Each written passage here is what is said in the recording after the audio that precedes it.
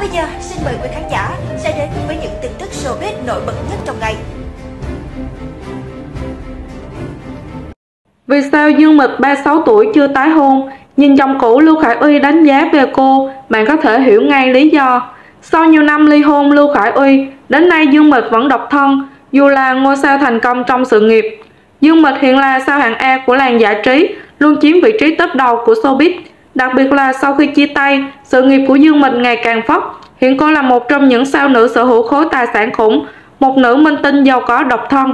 Đời sống tình cảm của cô ấy đương nhiên sẽ trở thành tâm điểm chú ý của cư dân mạng.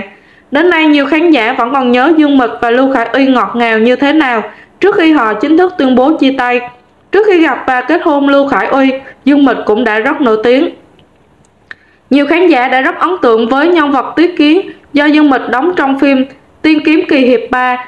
Vừa thông minh và đáng yêu này ngay từ cái nhìn đầu tiên và chính thành công của bộ phim này đã mở ra bước mới trong sự nghiệp cho Dương Mịch. Sau đó cô và Phùng Thiệu Phong đã kết hợp với nhau trong bộ phim cổ trang Cung tỏa tâm ngọc. Thậm chí Dương Mịch còn là người thể hiện ca khúc nhạc phim. Dương Mịch đã trở nên nổi tiếng khắp cả nước, nhưng Lưu Khải Uy khi đó chỉ là sao nam vô danh khi mới lấn sân phát triển ở đại lục. Trong một lần tình cờ hợp tác, Dương Mịch đã gặp Lưu Khải Uy và cả hai phải lòng nhau. Cặp sao sớm đến với nhau, và trong khi sự nghiệp của Dương Mịch đang bùng nổ, thì mối quan hệ của cô và Lưu Khải Uy cũng đạt đến giai đoạn mặn nồng.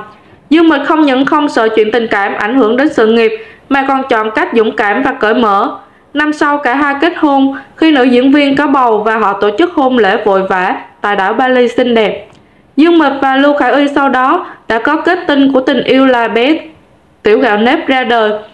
Ngay khi mọi người tưởng rằng Dương Mịch sẽ tạm dừng hoạt động nghệ thuật một thời gian sau khi kết hôn và sinh con, thì cô lại bất ngờ xuất hiện. Dường như sự xuất hiện của con gái Tiểu Gạo Nếp cũng không thể kìm hãm được khao khát trở thành một phụ nữ mạnh mẽ của Dương Mịch.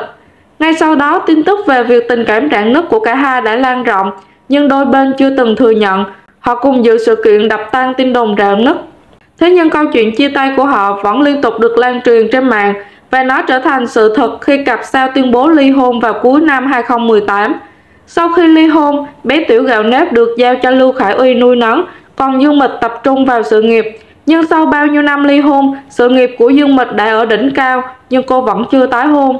Trong một chương trình truyền hình, khi MC yêu cầu Lưu Khải Uy chấm điểm về Dương Mịch, anh chỉ chấm cho cô 85 điểm. Theo chia sẻ của Lưu Khải Uy, với Dương Mịch mọi việc đều tốt, nhưng cô không có thời gian dành cho con cái và gia đình.